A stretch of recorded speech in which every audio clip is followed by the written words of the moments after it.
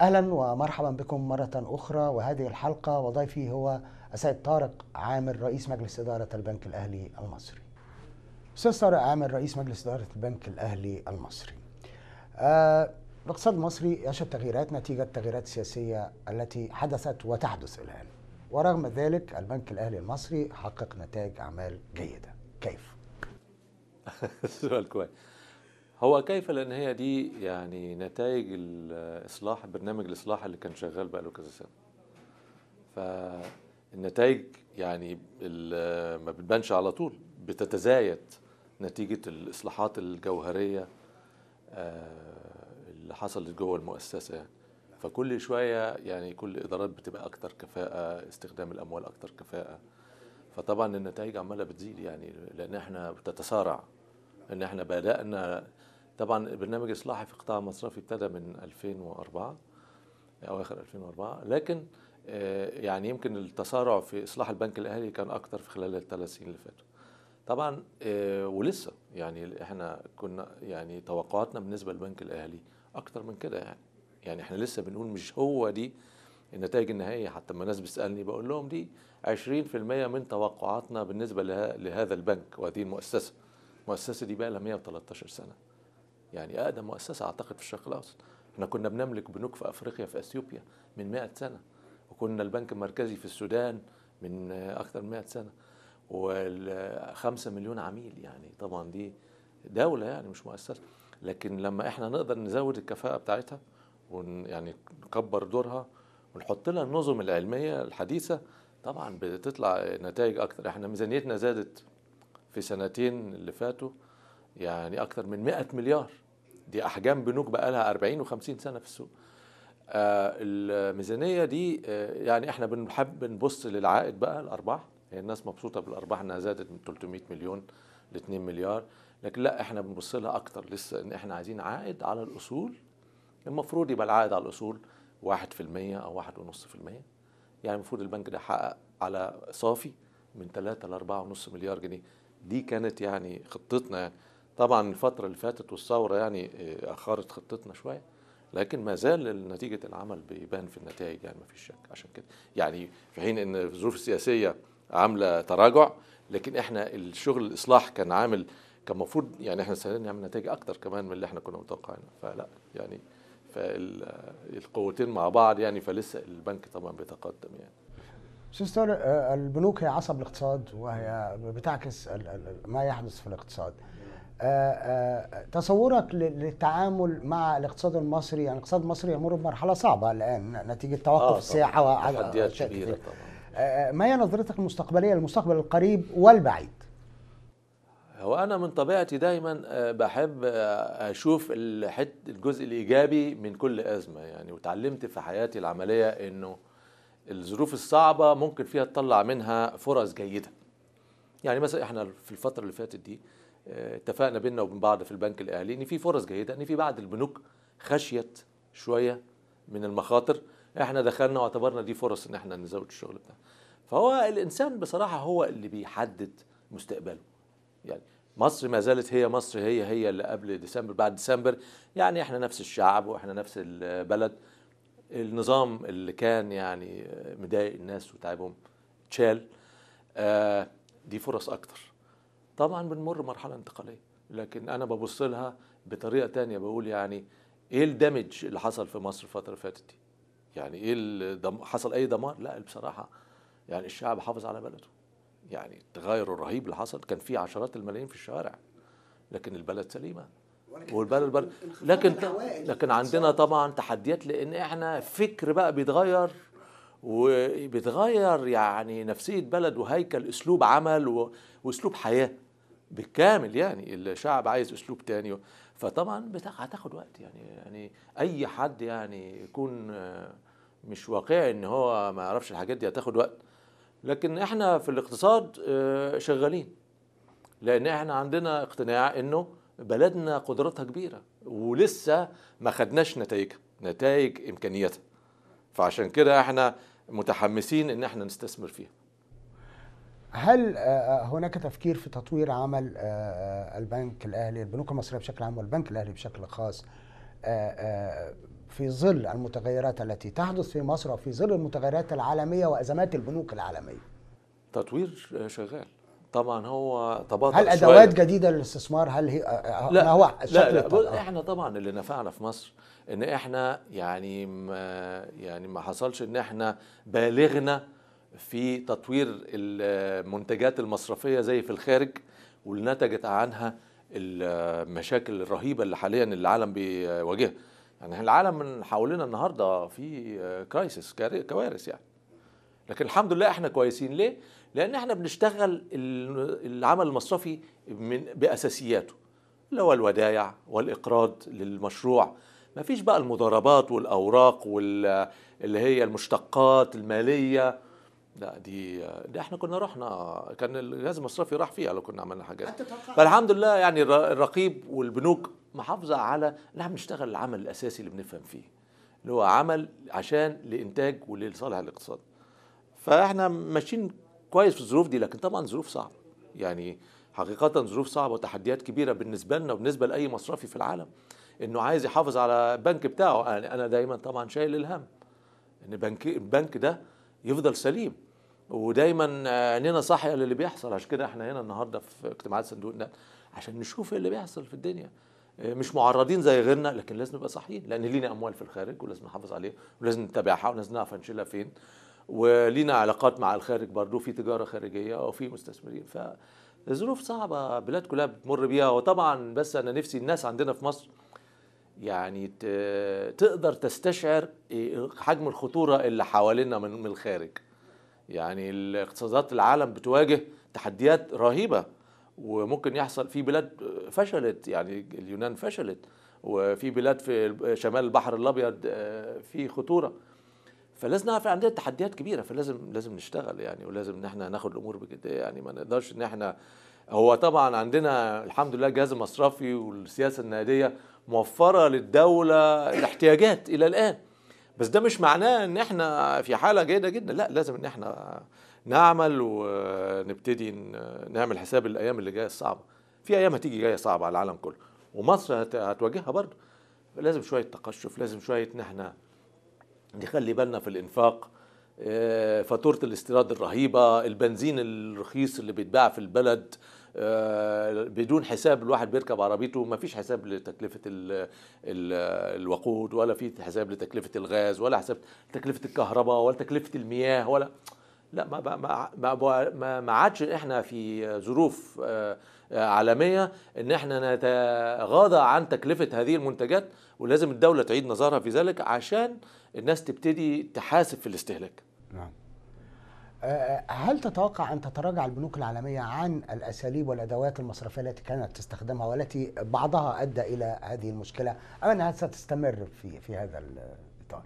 أنا مش عارف. هم أعتقد قدامهم تحدي كبير إن هو لازم يتراجعوا عن الفكر الأساسي آه، لإدارة الاقتصاد والعمل المصرفي اللي هو بنوك الاستثمار آه، والمضاربات دي. لازم يعاد الفكر في هذا الموضوع. وهم لسه نظرية الاقتصاد الحر وكده و- والسوق الحر والسوق ينظم نفسه. طبعا دي هم لسه متمسكين شوية بيها لكن هي عايزة جرأة من أعتقد يعني. أنا طبعا راجل مش سياسي يعني لكن من قادة السياسة في العالم جرأة إن هم يراجعوا بقى النظرية الأساسية اللي قايم عليها الاقتصاد يعني. ونظرية عمل المصارف بالذات المصارف ال- الاستثمار. إحنا كنا مصارف تجارية من زمان كنا بنشتغل مصارف تجارية. يعني ما كانت دايما المشاكل اللي بنواجهها مشاكل محدودة. النهارده بقت مشاكل رهيبة بسبب آه، بنوك الاستثمار والمضاربة في الأوراق و... فأعتقد إن هم لازم يراجعوا ده. ما أعرفش هيراجعوه ولا لأ. يعني هيبان. يعني لازم الظروف هتجبرهم على كده يعني. أستاذ طارق آه، ما زال الحديث بقية آه، ولكن بعد فاصل قصير. فاصل قصير نعود بعده لمواصلة هذه الحلقة من البرنامج.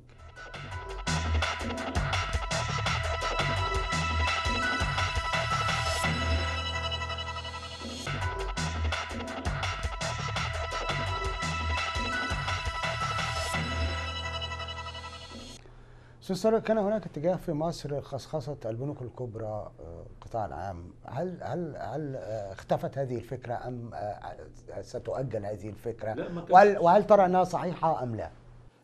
لا هو ما كانش فيه فكرة لخصاص البنوك الكبرى. هو كان في بس قرار بخصخصه بنك الإسكندرية. وهو ده مش قرار خصخصة أصل. هو يعني أنا مش ضد الخصخصة. لكن أنا رأيي لما الخصخصة تحصل لازم يكون في فكر وراه. يعني أنا مش ضد يعني ما نقدرش إن إحنا كل ما نحصل حاجة نقول لا لا دي وحشة تماما أو دي كويسة تماما. لازم الأول يكون عندنا فكر سليم. الفكر كان إن إحنا عايزين نصلح الجهاز المصرفي. آه طيب عايزين نصلح الجهاز المصرفي. إيه المطلوب له؟ مطلوب له إصلاح هيكلي ونجيب إدارات جديدة تصلحه. بس مطلوب برضه رؤوس أموال لأنه خسر جامد جدا. محتاج رؤوس أموال عشان يقف شوية على رجليه. طب الدولة عندها رؤوس أموال تحط ولا ما عندهاش؟ ما عندهاش. طب هل عندها مصادر أخرى؟ عندها بعض الأصول الغير استراتيجية؟ يعني بنوك تملكها بس أصغر ما لهاش أي أثر في السوق. ما تأثرش على حصة الدولة تأثير كبير. آه، ما تفرقش مع الدولة في عملية إنها تأثر في التمويل. طب ما نبيع الأصل ده ونصلح البنوك الكبيرة. وده اللي حصل. يعني البنوك الكبيرة اتصلحت. طبعا النهارده البنوك الكبيرة ق- آه، مصر والأهلي بيشكلوا 50% من السوق المصرفي. ما فيش بلد آه، هذا بلاد قليلة في العالم اللي عندها الحكومة بتملك 50% من الجهاز المصرفي ده كافي جدا يعني. مش محتاجين أكتر من كده خالص. إحنا ممكن ندير الجهاز المصرفي بنسبة أقل من كده حتى يعني لأنه مش محتاجين كده. لكن المهم مش المهم الدولة عندها نسبة كام في الجهاز المصرفي المهم إن الجهاز سليم ولا لأ. هو ده الأول. يعني أنا ما أفرحش بجهاز مصرفي مملوك للدولة ب 75 80% وهو جهاز مش سليم ومش قادر يشيل البلد. طب ويبقى أنا فرحتي عملت إيه بيه؟ فإحنا مش موضوع إن إحنا نملك أصول للدولة. المهم نملك الأصول ونقدر نملك أصول ذات كفاءة ونجاح. فاتعمل برنامج كامل بحيث إن إحنا في الآخر طلعنا بجهاز مصرفي سليم تماما وبرضه نسبة الدولة نسبة قوية وحاكمة وتخلصنا من نسب صغيرة جدا ولكن قدرنا نستخدم الفلوس دي في حاجات تانية. وبصراحة النهارده ال- الأسعار اللي هي ت- اتدفعت في الحاجات دي مش ممكن تلاقيها النهارده ولا تلاقي عشرها. يعني ما فيش بنك في العالم يرضى يدفع 10% من اللي اتدفع قبل كده. فلا يعني هو المهم يبقى فيه فكر كامل مش موضوع خصخصة. وبعدين لما يتم لازم يتم بأسلوب يبقى فيه نظام. بيبقى إنه ما فيش لا مصالح شخصية ولا حد استفاد ولا الكلام الفاضي ده. لا يبقى حاجة اتعملت بالأصول آه، وحافظت على على حقوق الدولة يعني. وده اللي حصل يعني في الجهاز المصرفي يعني آه، اتعمل برنامج كان هايل يعني. الناس كلها شهدت بيه في العالم يعني. محدش يقدر يتكلم عليه واعتقد اللي يتكلم عليه بطريقة سلبية آه، ما بيحبش مصر. لأن خلي بالك حضرتك يعني في كلام كتير بنسمعه. آه الناس اللي بتتكلم على الحاجات الكويسة بطريقة سلبية أنا أعتقد دي ناس ما بتحبش مصر وبتهدم في مصر. لا يعني مش شطارة وإنه الواحد دايما ينتقد ويحطم. لا الحاجة الكويسة اللي حطمها يبقى ما عندوش ولاء للدولة. لازم الحاجة كويسة نشهد لها ونقف وراها. ولازم عندنا الثقة في نفسنا إن إحنا نقدر نقول على الحاجة الكويسه إنها كويسه إنها جيدة. إحنا للاسف يعني أنا ساعات بسأل الصحافة بقول لهم طب أنتوا مش عاجبكم لا ده ولا ده ولا ده ولا حصل ده ولا ده ولا ده ولا أي طب قولوا لنا مين الكويس أو إيه الحاجات الكويسة؟ لا لا، لازم لازم نبقى عارفين. أوكي إحنا مش عاجبنا الأسلوب ده وعاجبنا الأسلوب ده مش عاجبنا الكفاءات دي لكن عجبانا الكفاءات دي يبقى لازم نبقى عارفين إحنا في جزء بناء يعني. لكن مش عايزين كله يبقى سلبي لأن مصلحة البلد يعني الأول أستاذ طارق آه، آه، توقعاتك لسعر صرف الجنيه المصري في الفترة الحالية والمستقبل القريب؟ لا أنا ما بتدخلش في الحتة دي لأن دي الحته دي يعني بصراحة هي هي هي يعني البنك المركزي ولكن آه، توقعاتك كمصرفي ك ك يعني كبنك. أنا أنا بصراحة اللي شفته يعني أنا مش مشغول بالحتة دي حقيقة. أقدر أقول لك لا تشغل بالي على الإطلاق. كمسؤول عن أكبر بنك في مصر لماذا؟ ليه؟ لأنه البنك المركزي أدارها بطريقة جيدة جدا وبطريقة مستقرة لفترة طويلة جدا فما مش شايل همها خالص و... وأنا كنت في البنك المركزي قبل كده وشفت الدكتور فاروق العقدة إزاي بيدير ال...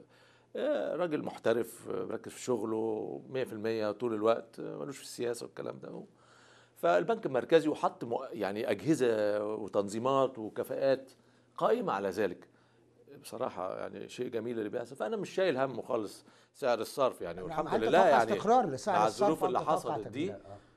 إيه، البنك المركزي ياخد أوسمة أوسمة على إزاي أدار سعر الصرف في السنين اللي فاتت دي؟ حقيقي يعني أوسمة على مستوى العالم يعني.